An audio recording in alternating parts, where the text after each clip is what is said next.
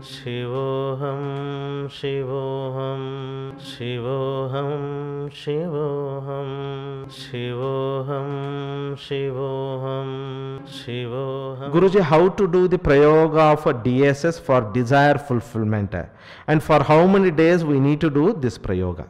So, as I told, you know, manifestation process where you visualize your goal of what you want to manifest and then you chant the Durga Saptashati Moola Mantra sadhana. That is your prayoga. And you can do this prayoga until you see the manifestation of your desire. Minimum for three months, six months. That depend upon your desire. Or one week, two week, depend upon your desire. You can do it. And also intention of the mantra chanting depend upon your desire.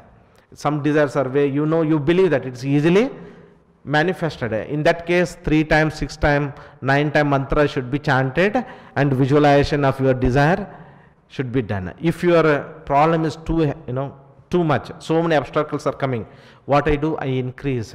I visualize, pray to mother to anchor the mantra shakti to my desire, do 27 times, 54 times, 108 times. Is it clear?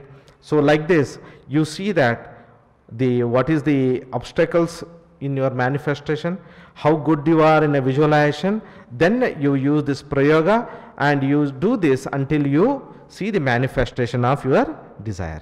शिवोऽहं शिवोऽहं शिवोऽहं